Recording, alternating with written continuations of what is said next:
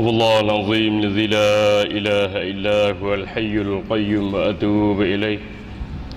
استغفر الله العظيم لنا ولوالدينا لمشائخنا استغفر الله العظيم لنا ولوالدينا لمشائخنا ولجميع المؤمنين والمؤمنات من أمة محمد صلى الله عليه وسلم. لا إله إلا الله وحده لا شريك له. له ملك وله الحمد يحيي ويميت وهو على كل شيء قدير. ولا حول ولا قوة إلا بالله العلي العظيم. اللهم صل على سيدنا محمد طب القلوب دوائها وعافية الأبدان وشفائها ونور الأبصار وضيائها وعلى آله وصحبه وبارك وسلم. اللهم صل على سيدنا محمد الفاتح لما أغلق والخاتم لما سبق الناصر الحق بالحق والهادي إلى صراط المستقيم. صلى الله عليه وعلى آله وأصحابه حق قدره ومقداره العظيم. بسم الله الرحمن الرحيم. الحمد لله رب العالمين. وبه نستعين. اللهم صل وسلم وبارك على سيد المرسلين نبينا وحبيبنا محمد خاتم الأنبياء والمرسلين وعلى آله وصحبه من استنى بسنته إلى يوم الدين سبحانك لا علم لنا إلا ما علمتنا Maha suci dika ya Allah Kami manusia tak pernah mengerti apa-apa Illa ma'allamtana kecuali apa yang dikau ajarkan kepada kami Innaka antal alimul hakim. Sesungguhnya dikaulah ya Allah Yang maha mengetahui lagi maha bijaksana. Rabbana yassir wa la tu'assir ya Allah. Permudahkanlah urusan kami. Janganlah dikau perpayahkan segala urusan hidup kami. Wa ahsin akibatana fil umuri kulliha. Berilah kejayaan dalam setiap perjua yang kami lakukan. Wa ajirna min khizi dunia wa min azab akhirah. Selamatlah kami dari kehinaan hidup di dunia ini Dan selamatlah kami dari kehinaan hidup di akhirat nanti. Walhamdulillahi Rabbil Alamin. Assalamualaikum warahmatullahi wabarakatuh. Yang saya muliakan Al-Fadhil Ustaz Abu Zah Selaku Tuan Imam. Yang dihormati Tuan Haji Makno Musi Jawatan Kuasa Pengurusan Masjid Imam Syafi'i Ahli Jawatan Kuasa Pengurusan Masjid. Datuk Datin Tuan Haji Puan Hajah Hadirin Muslimin Muslimat yang dirahmati Allah. Selamat Hari Raya. Kullu amma antum bi khairin. Mudah-mudahan setiap tahun kita semua berada dalam kebaikan. Ada gangguan makhluk Allah. Ha, tutup pintu tutup pintu tutup pintu rapat-rapat.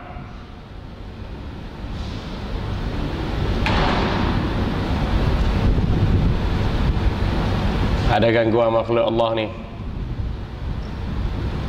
Apa kita jangan layan dia.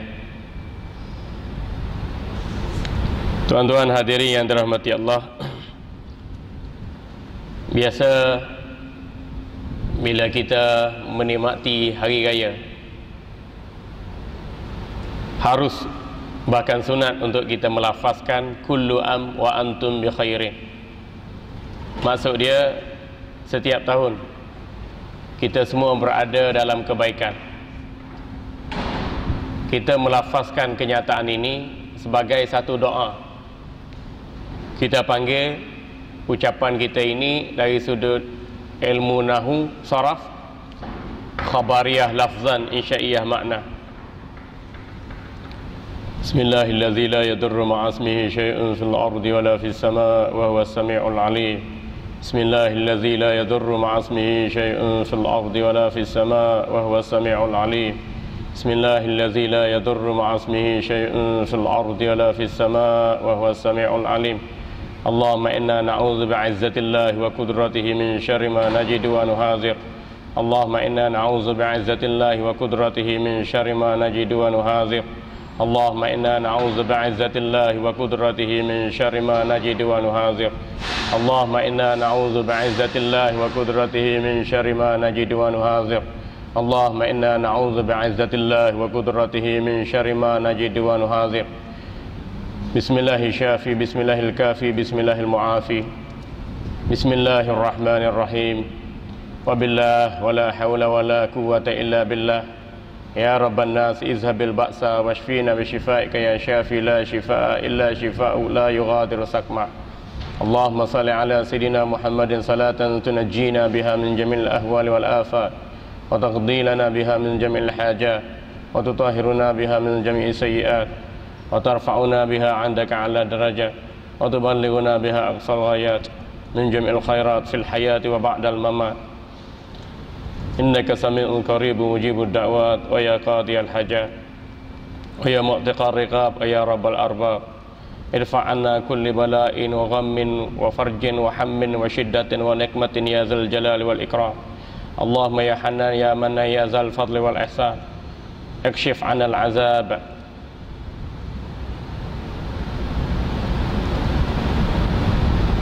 اكشف عنا العذاب. اكشف عنا العذاب. إنك على كل شيء قدير. وبإجابة جدير. يا الله يا الله يا الله يا رحمن يا رحيم يا فتاح يا عليم يا ذا الجلال والإكرام. عليك توكلنا وإليك أنبنا وإليك المصير. وصلى الله على سيدنا ونبينا محمد وعلى آله وصحبه وسلم. الحمد لله رب العالمين. Ni kalau gangguan-gangguan macam ni Ribut ke, taufan ke Ada makhluk-makhluk asing yang cuba ganggu kita Kita baca doa Tolak bala. Kita baca doa syifa. Kita jauhkan daripada Sebarang siksaan dan azab Dan kita minta bantuan serta pertolongan daripada Allah. Tuan-tuan hadiri yang dirahmati Allah bila hari raya harus dan sunat untuk kita sebutkan kullu am antum bi khairin. Maksudnya setiap tahun anda semua mudah-mudahan berada dalam kebaikan. Kebaikan di sini maksudnya kebaikan dalam mentaati Allah. Memanglah bila kita mentaati Allah, Allah beri kebaikan pada kita dunia dan akhirat. Jadi sempena dengan hari-hari kebesaran Islam, kita melafazkan ucapan ini bukan sekadar ucapan biasa tapi dari sudut ilmu nahu saraf kita panggil ucapan ini khabariyah lafzan insya'iyah makna. Kita sebut nampak cara biasa aja. Macam selamat sejahtera assalamualaikum selamat pagi. Itu maksudnya ucapan biasa. Tapi di sebalik ucapan ini ada doa. Macam kita sebut juga kullu amma antum bi khairin. Setiap tahun mudah-mudahan anda semua berada dalam kebaikan. Tak kira lah panjang umur ke, murah rezeki ke, boleh buat ibadat ke, sihat tubuh badan ke, bahagia kehidupan ke, tambah senang ke. Itu antara elemen nikmat yang Allah berikan pada kita.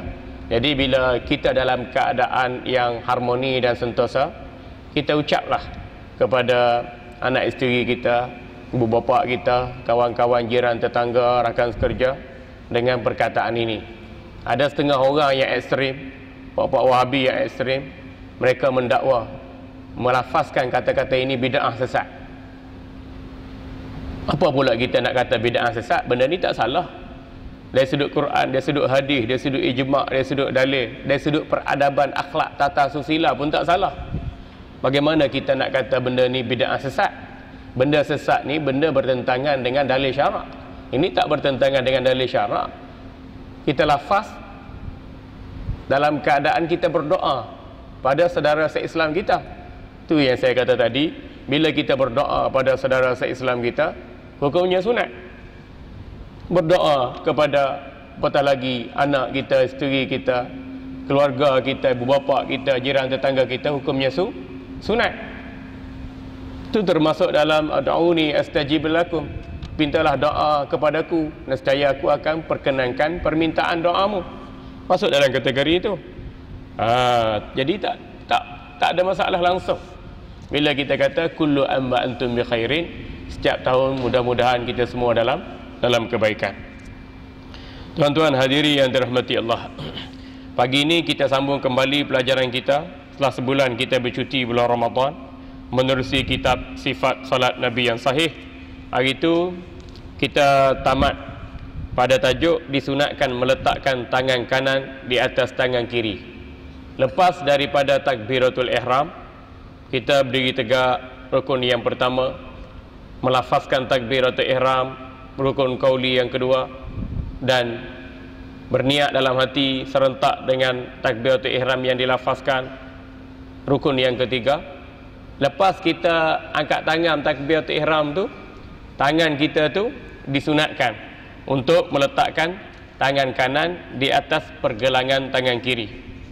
Dalilnya Anwa'i bin Hujur radhiyallahu an qala ra'aitu Rasulullah sallallahu alaihi wasallam Iza dakhala salatu ya'khudhu shimalahu ya, biyaminih Diriwayatkan dari Wa'i bin Hujur radhiyallahu an. Aku melihat Rasulullah sallallahu alaihi wasallam apabila telah memulakan salat tangan kanan baginda memegang pergelangan tangan kiri. Tengok. Memulakan salat maknanya dengan takbiratul ihram. Lepas takbiratul ihram. Ingat, takbiratul ihram tu mulut tu wajib sebut. Allahu akbar. Mulut wajib sebut. Minimalnya sebutan itu kita dengar dengan telinga kita sendiri. Jadi kalau kita memulakan salat dengan takbiratul ihram yang tak bunyi tak sah salat tangan angkat berdiri tegak. Hak tangan angkat tu sunat. Berdiri tegak tu rukun fi'li. Tapi tak melafazkan takbiratul ihram Allahu Akbar tak sah salat. Nah, tak kira dia salat kat Mekah ke kat Madinah ke kat Masjid Al-Aqsa ke kat mana-mana sekalipun. Atau dia solat di belakang ulama belakang wali Allah sekalipun. Dia tidak melafazkan ucapan takbiratul ihram Allahu Akbar maka tak sah salat dia. Ini tugas mulut tugas mulut bukan untuk bercakap je tapi tugas mulut baca Quran, tugas mulut beribadat kepada Allah. Salah satu ibadat rutin kita ialah mulut kena sebut, kena ucap biar betul Allahu Akbar. Bila dilafazkan takbiratul ihram Allahu Akbar, takbiratul ihram itu kita betul, maka kita telah menyempurnakan rukun solat iaitu rukun perkataan, rukun kauli Allahu Akbar takbiratul ihram. Yang kedua, fokus kita di sini ialah angkat tangan ketika takbiratul ihram. Angkat tangan ketika takbiratul ihram tu ialah sunat.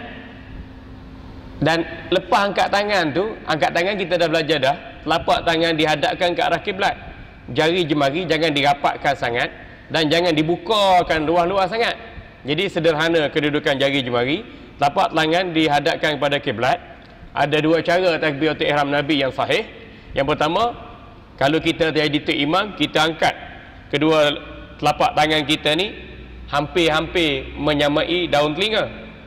Tapi masih telapak tangan menghadap ke arah kiblat dan jari jemari sedikit dibuka.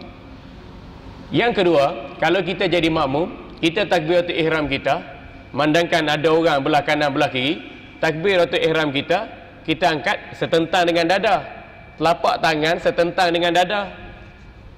Kemudian telapak tangan tu dihadapkan ke arah kiblat. Telapak tangan setentang dengan dada kan setengah riwayat. Tampak tangan setentang dengan bahu.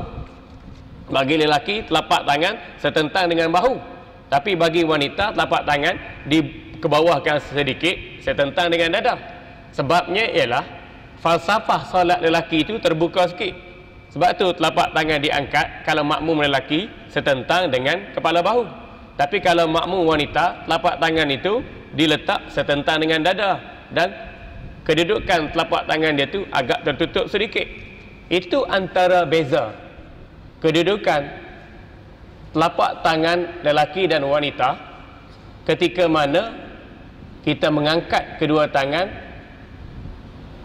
bila mana kita melafazkan takbiratul ihram. Benda sunat kita buat dengan betul artinya kita mengikuti pekerjaan Nabi sallallahu alaihi wasallam kita dapat pahala. Kalau benda sunat kita buat dengan cara tak betul kita tak, tak dapat pahala. Bukan tu saja takut jadi makruh pula. Sebab Nabi tunjuk cara lain kita buat cara lain. Baik. Lepas tu pula bila nak letak tangan nak letak tangan kat badan tu tangan kiri letak atas sedikit daripada pusat. Serentak. Tangan kanan turun dengan tangan kiri serentak dengan lafaz takbiratul ihram yang kita sebut. Allahu akbar. Bila habis ba tu tangan kiri pegang tangan kanan duduk atas sedikit daripada pusat. Bukan betul-betul atas lubang pusat tu. Atas sedikit posisi tangan kita tu kita letak atas sedikit daripada daripada pusat hak atas sedikit daripada pusat tu yang dekat dengan hati. Sebab hati kita ni sikit je ya sikit je dekat dekat, dekat bawah tulang rusuk tu. Ha tu situ. Bukan kita kata dekat dengan hati tu letak atas susu ni susu sebelah perempuan ni. Tak susu sebelah kiri ni bukan. Ha, itu cara pemahaman yang salah. Ada orang dia setengah letak sebelah kiri. Dia kata Nabi SAW letak tangan lepas takbiratul ihram belah kiri sebab pegang pedang takkan Nabi SAW semayang pakai pedang je semayang pakai pedang tu ketika peperangan. Memang ada riwayat. Tetapi dalam keadaan aman damai pergi masjid surau bawa pedang juga. Pas semayang bawa pedang juga eh? Tu orang kata something ya? Ganahnya Islam semayang bawa pedang. Jadi sekarang ni kiah zaman moden tak bawa pedang bawa pistol semayang bawa pistol oh yo. Kita ni tuan-tuan semayang bawa pistol pistol air je lah nah tu tak dikira sebagai senjata. Senjata pun senjata kita untuk keturunan je. Ha, ini bawa pistol peluru macam senjata untuk melakukan aktiviti kekerasan tu ha, itu merupakan satu pemahaman yang salah. Jadi Nabi SAW dan para sahabat bila meletakkan tangan lepas takbiratul ihram baginda tak letak kiri baginda tak letak kanan letak atas sedikit daripada pusat ikut mazhab kita mazhab syafi'i dan mazhab maliki tapi kalau ikut mazhab hambali dan hanafi Lepas takbiratul ihram tu posisi tangan nak letak nak letak tangan tu kat mana? Dia letakkan tangan bawah sedikit daripada pusat. Dua mazhab, mazhab kita Syafi'i dan Maliki letak tangan atas sedikit daripada pusat.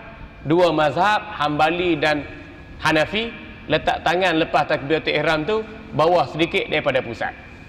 Empat mazhab muktabar inilah kedudukannya. Boleh disemak dalam kitab fiqh ala mazahibil arba'ah. Kitab fiqh empat mazhab boleh semak situ. Tapi kalau ikut syiah mereka takbir Allahu Akbar tangan dia lurus. Dia letak ke bawah tu lurus. Tu syiah maya pas syiah kadang takbir. Allahu Akbar. Sekali dua kali tiga kali. Ni bergerak bergerak takbir tu. Allahu Akbar. Sekali dua kali tiga kali. Lepas tu dia luruskan tangan. Itu cara syiah semaya kalau cara buat wahabi semayang, dia takbir macam orang perempuan. Wahabi ni dia pondang sikit, dia takbir macam orang perempuan. Telapak tangan dia, dia letak setentang dengan dada macam orang perempuan. Allahu Akbar, dia kangkang luah-luah. Ketika berdiri tegak, Allahu Akbar, lepas tu letak tangan dekat leher ni. Atas dada, puncak dada atas leher ni. Itu cara yang bertentangan dengan mazhab empat. Salah memang salah, tak tepat dengan hadis Nabi yang sahih. Kemudiannya kemudiannya bertentangan hujah dengan mazhab empat dan tidak ada dalil yang menyokong tentang amalan mereka jadi buat wahabi tak ada dalil buat syiah tak ada dalil yang ada dalilnya adalah sunnah wal jemaah kita berpegang dengan mazhab kita mazhab syafi'i. Letak tangan lepas takbir atau ihram tu atas sedikit daripada pusat. Dan ulama kita ni ambil dalil Quran ambil dalil hadis ambil dalil keterangan-keterangan yang kuat dari para alim ulama dan dalil itu muktabar sampai kepada kita hari ini Alhamdulillah. Jadi kita tengok orang kita semayang dia ikut-ikut je semayang ikut ayah dia, abah dia, pak mentua dia, tok nenek dia. Dia, dia ikut je ikut yang baik ketua. Kita belajar ni ada dalil. Tu dalil yang pertama. Dalil yang kedua, An Sahli bin Sa'd radhiyallahu an. Qala kana an-nas ya'muruna an yad'a an yad'a ar-rajulu al-yad al-yumna ala zira'ihi al-yusra fi as-salah. Qala Abu Hazim ahad ar-ruwat al-hadis la a'malahu illa yanmi zalika ila nabi sallallahu alaihi wasallam. Rawahu al-bukhari fi sahihi. Diriwayatkan dari Sahal bin Sa'ad radhiyallahu anhuma bahawa seseorang hendaklah meletakkan tangan kanannya di atas pergelangan tangan kirinya di dalam salat Abu Hazim yakni salah seorang perawi yang meriwayatkan hadis tersebut berkata tidak saya ketahui perbuatan ini hanya dia menyandarkan hadis tersebut pada Nabi sallallahu alaihi wasallam. Hadis ini diriwayatkan oleh Imam Bukhari rahimahullah dalam sahihnya muka surat 224 juzuk yang kedua menerusi kitab Fathul Bari. Melalui hadis di atas disunatkan meletakkan tangan kanan di atas belakang telapak tangan kiri yakni telapak tangan kanan memegang pergelangan tangan kiri yang disebut sebagai al-qu' Tengok. Kita letak telapak tangan kanan, ni telapak tangan kanan. Atas pergelangan tangan kiri, ni tangan pergelangan tangan kiri. Ya, atas kok kita letak begini tangan kita. Ada setengah orang, ha, dia dia dia dia apa? Dia letak kiri kita kanan. Tu cara yang salah. Ada setengah orang dia pegang siku, dia pegang siku macam ni. Ha, dia pegang siku macam ni. Ni cara yang salah. Ha? Tangan kiri pegang tangan kanan, salah juga tangan kanan pergi pegang siku salah juga. Kemudian dia letak tepi ini salah juga. Dia letak tepi ini pun salah juga. Salah ni bukan membatalkan solat tapi salah ni makruh sebab tidak bertepatan dengan apa yang Nabi sallallahu alaihi wasallam amalkan. Hmm. yang ni telapak tangan kanan memegang pergelangan tangan kiri. Ni yang disebut alqu alqu ni tulang. Tulang-tulang hasta ni ni tulang lengan ni tulang lengan ni. Lepas tu ada ujung tulang lengan ni ada ada ada tulang dekat ibu jari tangan. Ini kita panggil alqu. Jadi alqu ni ibu jari kita ni pegang-pegang macam ni. Pegang ibu jari uh, tulang tulang alqu. Tulang pergelangan hujung lengan. Ha, nampak? Ha, duduk gini kita pegang gini lah. Ha, tu dia. Bukan kata letak letak gini. Ada orang setengah letak gini. Ha, itu tidak tepat.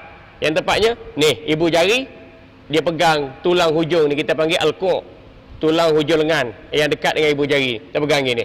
Ha? Pegang gini.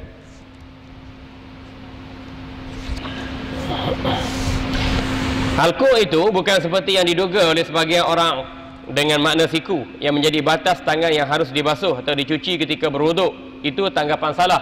Alkuk ni tulang ni. Ni tulang hujung dekat ibu jari ni. Ni tulang hujung ni. Ni tulang ni. Ni alkuk. Bukan kata alkuk ni sini. Ada setengah orang semayang dia semayang dia pegang dia pegang tulang siku. Tulang siku bukan alqu kalau tulang siku ni mirfaq fam, dalam dalam Quran disebut famsahu. Famsahu. Biwujuhikum wa aydiyakum ilal marafiq Allah kata basuhlah mukamu ketika ambil wuduk basuhlah muka dan basuhlah tangan daripada jemari tangan sampai kepada marafiq ni marafiq ni marafiq ni tulang ni jadi masa takbiratul ihram kalau kita semayang pegang siku tak betul. Ayat yang menyentuh tentang basuhlah muka dan basuhlah tangan hingga melepasi uh, tulang siku tu itu ayat wuduk. Ayat wuduk dia pergi faham jadi ayat atau dalil untuk menjelaskan tentang kedudukan tangan lepas takbiratul ihram. Tak betul. Dalil itu betul tapi cara pengambilan dalil itu tak betul. Hmm. Menurut bahasa Arab juga digunakan oleh Nabi sallallahu alaihi wasallam dan para sahabatnya sebagai bahasa komunikasi. Alqu adalah tulang yang terletak dekat pergelangan tangan dan tempat bertemunya tulang hasta dengan telapak tangan. Ha, ini alqu. Ujung ni alqu. Ni ni lengan, ujung ni alqu. Ini ini lengan, ujung ni tulang ni alqu kita panggil. Alqu alif lam kaf waw ain alqu ni tulang ni. Ha, tengok detail penjelasan kitab ni memang detail. Benda sunnah pun di di diambil perhatian. Al-Qur adalah tulang yang terletak dekat pergelangan tangan dan tempat bertemunya tulang hasta dengan telapak tangan. Mungkin ada setengah orang membaca suatu hadis atau suatu kitab bahawa Nabi sallallahu alaihi wasallam pernah mengambil atau memegang al-ku' al-yusra pergelangan tangan kiri dengan telapak tangannya. Lalu dia menduga bahawa yang tepat baginya adalah memegang siku yang kiri sebagaimana yang dilakukan oleh orang awam sekarang. Ternyata alqu diertikan secara salah. Ini kerana mereka menduga bahawa mirfat, yakni tulang ujung siku itu adalah alqu. Ternyata dugaan ini terjadi kerana mereka kurang mengetahui permasalahan bahasa Arab yang sebenarnya. Ha, alqu ni tulang ni, tulang lengan yang dekat dengan dekat dengan ibu jari ni. Ha ni. Bukan ni. Ni tulang mirfat, ni tulang alqu dalam bahasa Arab. Lepas tu bila kita wuduk mesti lebih kepada wuduk kita tu lebih melebihi melebihi tulang siku ni. Ilal marafiq ni katakan marafiq. Ha, tapi kalau alqu ni bila dalam wuduk ujung jari semua ni melepasi melepasi tulang siku. Tapi bila semayang Nabi letak tangan kanan memegang pergelangan tangan tangan kiri. Ha, itu ya. Jangan, salah faham tu. Karena salah faham, salahlah kita melakukan amalan kita sangka kita melakukan perbuatan sunat tetapi sebenarnya kita telah melakukan banyak perbuatan yang makruh sangka dapat pahala rupanya tak dapat apa-apa pun Allamah Al-Majd seorang guru besar Al-Fairus Abadi dalam kamus Al-Muhid mengatakan bahawa Al-Qu' ialah hujung lengan bawah yang dekat dengan tulang ibu jari. Ha. hujung lengan bawah tulang ni dekat dengan ibu jari. Ni ibu jari ni tulang dia. Fairuz Abadi ini dia orang Kristian. Tapi begitu mahir dalam aspek bahasa. Kenapa kita ambil sini jadi hujah? Hujah dari sudut bahasa bukan hujah dari sudut Kristian dia. Tapi walaupun begitu Fairuz Abadi ini tak pernah perjuang tak pernah perjuang nak guna kalimah Allah dalam agama Kristian beliau kita ni Kristian kita melampau. Dan memang pun orang bukan Islam sekarang ni melampau. Tuan-tuan tengok dalam bulan puasa, orang boleh menghina umat Islam dengan sup tulang babi. Kemudian orang Melayu Islam sendiri pun buat video YouTube dengan anjing sambut hari raya. Patut pegang kaki anjing itu ambil wuduk. Kalau kat Johor yang terbaru duk buat apa? Surau. Dahlah buat surau salah kiblat. Orang semayang menghadap Kaabah, dia semayang menghadap Pakistan, Turkmenistan, Tanjung Rambutan. Tu jadi pening.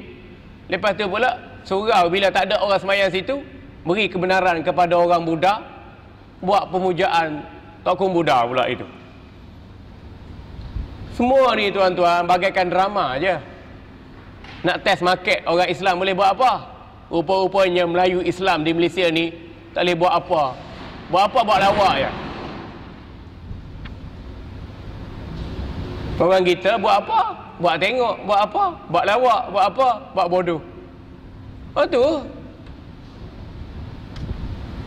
Patutnya Jabatan Agama Johor semua daftarkan surau-surau yang yang yang ada di negeri Johor. Sepatutnya gitu. Lepas tu jangan daftar saja. Buatlah pemantauan, buatlah semakan arah kiblat dia betul ke tak betul. Tak kira lah surau bawah pengurusan resort ke hotel ke apa. Tengok hotel di Palma Ampang kan, ada surau kan. Kita jais berikan kebenaran untuk solat jemaah kat situ. Kita nanti imam kita kat situ. Tak kisahlah dia bawah pengurusan hotel pun. Tapi penentuan arah kiblat dan aktiviti keagamaan mesti dipantau Jabatan Agama. Kadang-kadang Jabatan Agama kata, kami sedang memantau, memantau. Cakap surat khabar je memantau. Benar tak buat kerja pun bila berlaku isu cakaplah memantau memantau memantau itu ayat standard tu tuan-tuan kepada media tuan-tuan pun tahu yang ketiganya kalaulah surau tu dipantau kegiatan kedudukan aktivitinya salah kiblat betul kan arah kiblat ini dah sekian lama umat Islam kita kalau pergi resort situ pergi cuti bawa anak bini semayang salah kiblat mayang salah kiblat ni tak semayang tuan-tuan tak sah semayang Kan Allah kata wa min haitsu kharajta fawalli wajhaka syatrul masjidil haram. Di mana saja kamu berada wahai Muhammad, adalah wajahmu bila semayang ke arah Masjidil Haram. Dan kita semayang surau arah arah menghadap ke Pakistan. Turkmenistan. Waktu kita macam duduk tanjung rambutan, semayang enggak tak betul. belum daripada belum minta maaf saya cakap eh. bukan nak mengkritik nak me, me, me, memperlekeh jabatan agama ada tapi ini yang kita tak nak ni jabatan agama pun kalau tak buat kerja jadi masalah agama surau dibina arah kiblatnya menyimpang